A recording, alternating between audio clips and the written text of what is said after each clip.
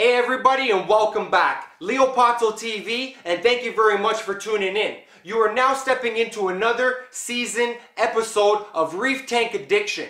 Thank you very much for tuning in. Go ahead and subscribe right now. And thank you to all my subscribers. I definitely appreciate it. I've almost hit 10,000 guys. I'm at 8,000 currently right now. And I'm climbing my way up to 10,000 which is a huge accomplishment for myself and my whole community that have basically subscribed to me. So thank you. Don't miss the wave, subscribe to Leopazzo TV, Reef Tank Addiction. We're going to be featuring my buddy's tank right now, Aaron. It's an 80 gallon saltwater coral reef fish tank, guys. I filmed this video about a year ago and looking back at this videos, I can't believe I haven't even posted this and shared these videos with you guys. And I'm also not noticing that there's there was snow on the ground when I was going to his house, guys. And another thing I wanted to point out that the camera that I was using was only filming in 720, which the quality is not the best, but bear with me. I'm sure you guys are going to enjoy it. You guys are going to learn something definitely, hopefully. And if you guys have any comments, questions, concerns, feel free to leave them in the comment section down below. Let's get this bad boy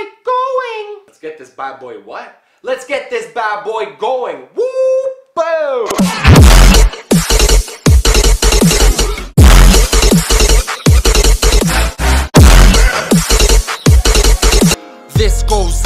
All my fish lovers. Getting together on the foam and just hover. Nothing to hide but to only uncover. Treating one another like it's our own brother. Passing info, learning every day. Try something new, maybe a different way. Don't succeed the first time, it's okay. Start from scratch, yeah, a new tank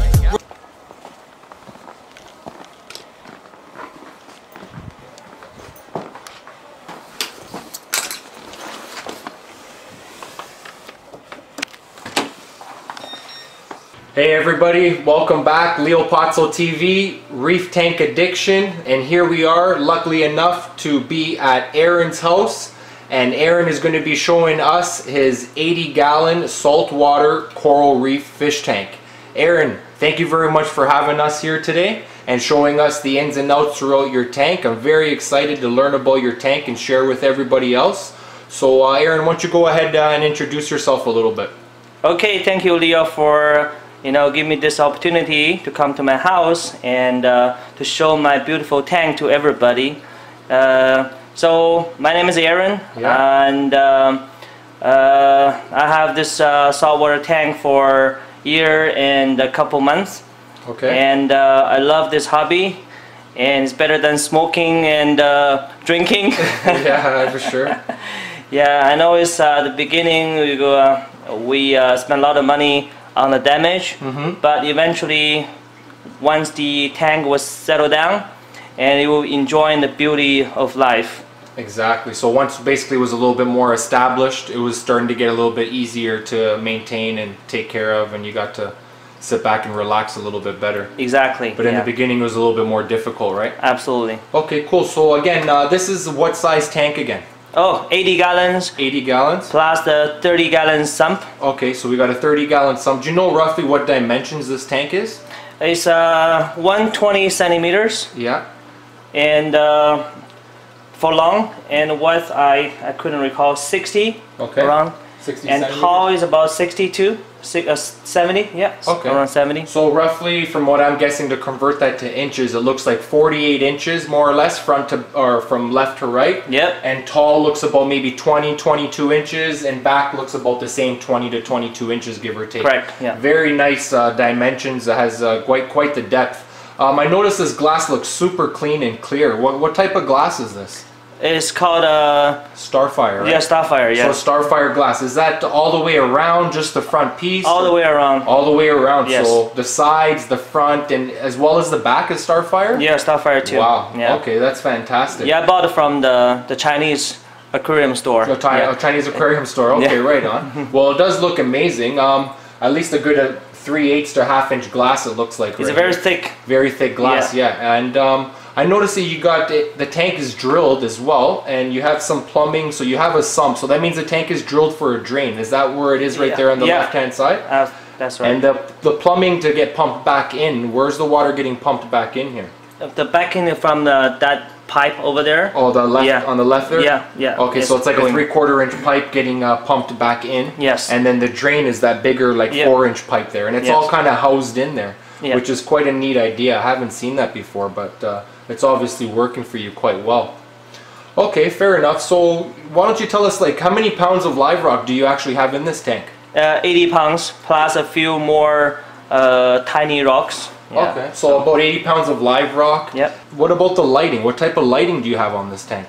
The lighting I bought from the eBay. I think it's manufactured by some Chinese factory. Okay. And uh, 165 watts each. Yeah. So I bought two from eBay, Okay. about uh, 100 something each. Okay, fair Yeah. enough. Are they uh, are they dimmable? Yeah, dimmable, and uh, you can switch on and off for separate between the blue and the, the colorful one. And the the full spectrum, Yeah, colorful ones. yeah. Okay.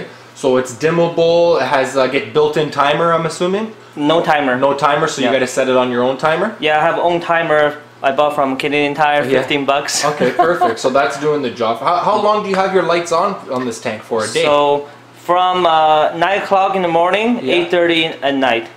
But So eight Yeah. to nine. So we're pretty much uh, 12 hours around. 12 hours, give or take. Eh? Yeah, but usually around 7.30, Yeah. I would dim to um, like a lower, lower, Okay. yeah. So you got to manually dim it, or it dims on its own. I, I, I manually Oh, so it. you manually have to increase it or decrease the uh, Yes. the brightness yes, of the yeah, lights. a little bit. Yeah. Okay, fantastic. Well, that looks uh, it looks quite nice. Um, not any really algae growth at all. The fish and coral look really happy. You know, wh- when did you start in this hobby? You said uh, like this tank was about a year and a couple of months. Is that when you started with saltwater? No, uh, this is my biggest tank. Okay. Uh, should be my, my, my latest one too. Okay. My first tank was um, set up in 2013 uh, September. That's my first tank Okay. ever, and it's saltwater. And what size was that one? It's 2.5 gallon. 2.5 It's gallon. in my office. Wow. That's- So you still have that tank set up Yep, here? it's That's still the one there. in the office. yeah. Fantastic. So you know what? We'll maybe uh, take a peek at that a little bit later on once we find out a little bit more about this Sure. 80 gallon here. Um, what's your What's your favorite coral in this tank right now? I think right now it's still the leather, The- the, leather the big uh, leather mushroom. here. Yeah. Okay, so this guy right here in the in the beginning here. Yes, Obviously, you didn't get it that big when you bought it, right? No, it's about uh, a quarter size. Now about it's the quarter of the size of Yeah. it. So maybe about three, four inches. Now it's at least a good 10 to 12 inches easy. yep. and that's it actually is closed up. Uh, you were just telling me previously, um, it why is it closed up a little bit more than normally?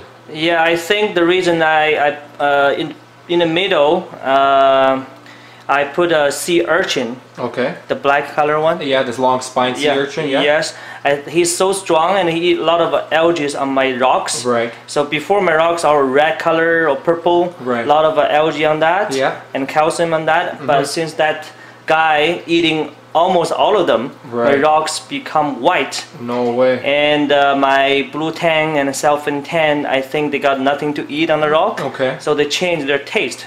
So it is my ex- experiences, and then change the taste. They start eating my corals. Right. So they're they're kind of looking for some other uh, food here. Yeah, you the can see tank. the zoopolis. Yeah, the zoas there as well. I noticed there's like a little glass bowl on top of that. Yeah, because the blue tang start eating them. One blue day I tang. find out. Yeah. Okay, well, we'll take a little bit closer look at some of these corals in depth. I'll get the camera here off the stand and we'll take a closer look at some of these corals and fish.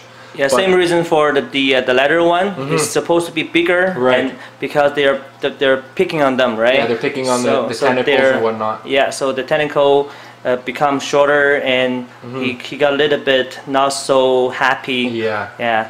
So- And uh, you can see that uh, from the top there, looking from the LEDs, it looks like a nice vibrant green color, right? Yes. Yes. Very nice, man. It's not too common to see a nice color leather that color there.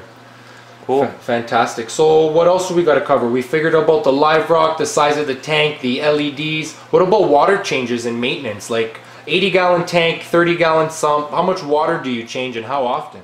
Yeah. Uh, I changed 20. You know we get it every weekend. You know that we don't play. And what I do it ain't no secret. You know that we don't play. That we don't play. Yeah, I'm on my way and I'm here to stay. To be me ain't so easy. Just take it day by day.